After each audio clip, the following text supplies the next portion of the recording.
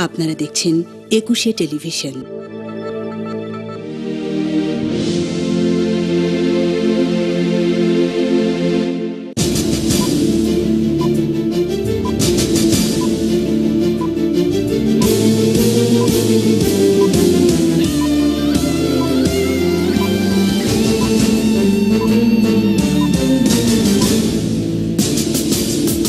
বন্যা পরিস্থিতির আরও অবনতি, নতুন নতুন এলাকা প্লাবিত, নদী ভাঙনে বিপন্ন মানুষ, ত্রাণ সহায়তা বাড়ানোর দাবি।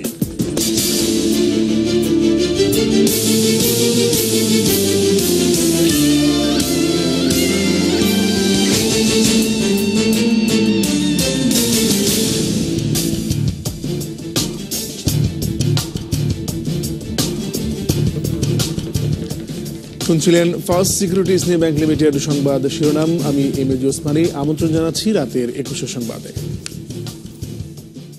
বাদ।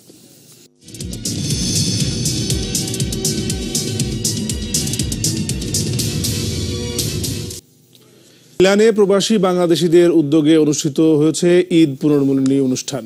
স্থানীয় সেন্ট্রাল জামে মসজিদ প্রাঙ্গণে এই অনুষ্ঠানের আয়োজন করা হয়। দিনব্যাপী অনুষ্ঠানের মধ্যে ছিল কোরআন তেলাওয়াত, হামদ ও নাত। এছাড়া আলোচনা সভায় বক্তারা ইউরোপে বেড়ে ওঠা নতুন প্রজন্মের মাঝে বাংলা সংস্কৃতি ছড়িয়ে দেওয়ার আহ্বান জানান। পরে মুসলিম উম্মার শান্তি কামনায় বিশেষ মোনাজাত করা হয়। অনুষ্ঠানে বিভিন্ন রাজনৈতিক, সামাজিক ও প্রবাসী সংগঠনের নেতাকর্মীরা উপস্থিত ছিলেন।